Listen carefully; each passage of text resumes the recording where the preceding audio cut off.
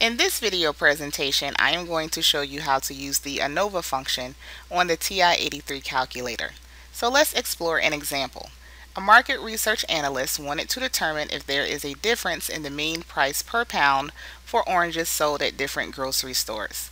The data is listed as follows. Test at the 10% level of significance.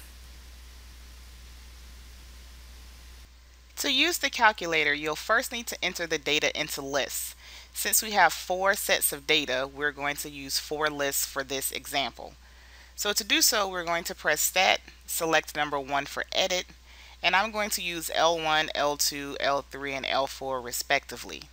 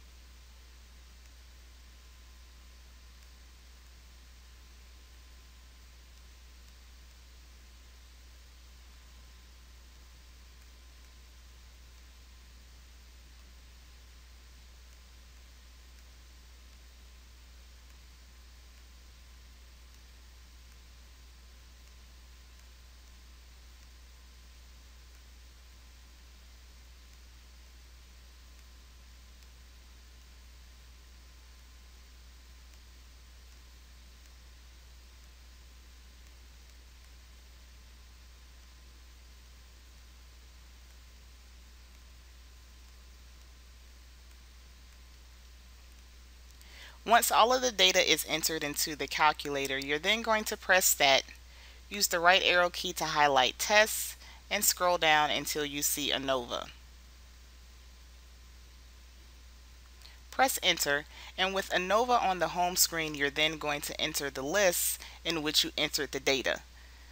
Again, I entered the data into L1, L2, L3, and L4, and when you enter the list you want to make sure you separate them by using the comma and the comma is located above the number 7 so I'm going to enter L1 use the comma key L2 use the comma key L3 use the comma key and L4